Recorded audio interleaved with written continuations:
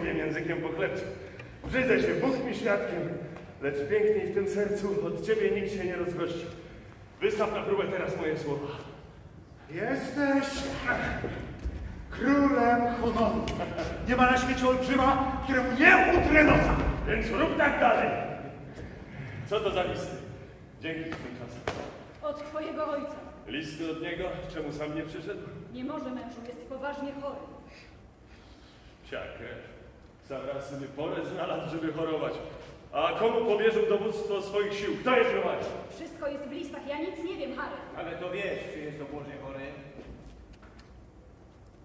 Leżał cztery dni, nim wyjechałam.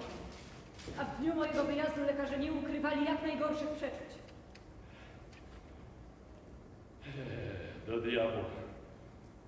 Sączy tę chorobę serdeczną krew naszego przedsięwzięcia. Zarazi cały obóz lada chwila. Pisze mi tu, że to wnętrzności. Że sprzymierzeńców wszystkich przez posłańców nie mógł zgromadzić i że jego zdaniem wypadało w cudze ręce składać sprawy poważnej, tak, i niebezpiecznej. Lecz nas do czynu zagrzewa i radzi, by sprawdzić nawet z tą skromniejszą siłą, czy nam fortuna nie sprzyja i uderzyć. Skoro, jak pisze, nie mamy odwrotu, bo król z pewnością przejrzał nasze plany i wie o wszystkim. Co powiecie na to? Choroba twego ojca to cios dla nas. Krwawy ciąg! Jakby nam rękę urwała.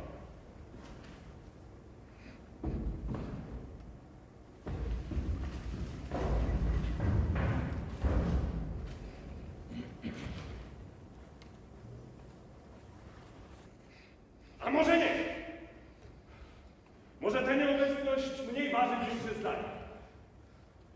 Czy to dobrze by losu wszystkich naszych sił sprzeniewierzył jeden rzut kości? By tak wielką stawkę powierzyć jednej niepewnej godzinie? To by znaczyło wszystko duszkiem wypić i spoglądając w suche dno kielicha dosięgnąć ostatecznie granic naszych nadziei. Tak by się stało, prawda? Teraz za to możemy działać zuchwale w nadziei na obraz przyszły, zbawienną od wody, a wtedy zachęta nasza i pociecha. I nasza przystań, gdzie się można schronić, jeżeli diabeł z pechem sprzymierzony zdławi w zarodku nasz zamek. A jednak wolałbym widzieć wśród nas twego ojca. Takim zamiarom jak nasz szkodzi nawet pozór niezgody. Ten ów pomyśli, nie wiedząc czemu hrabia nie przyjechał, że mu to rozum dyktował lojalność, czy zgoła niechęć do naszych poczynań. I pomyśl, jak te plotki mogą wpłynąć na co trwożliwszych naszych sprzymierzeńców, groźne zwątpienie siejąc w ich szeregach. Skoro to myśmy ten ląd podpalili, od chłodnej myśli podmuchów go strzeżmy i zatykajmy szczeliny, do których wścibski rozsądek mógłby przytknąć oko, znikając. Ojciec twój zerwał zasłonę, za którą profan gotów ujrzeć strachy, o jakich mu się nie śniło. Przesadzasz! Inaczej widzę jego nieobecność. Bez niego nasze wielkie przedsięwzięcie większy ma blask. Więcej śmiałości w sobie niż gdyby tutaj był.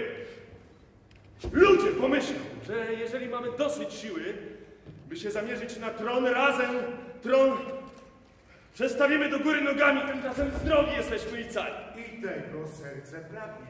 Język, którym mówimy w Szkocji, nie zna słowa strach.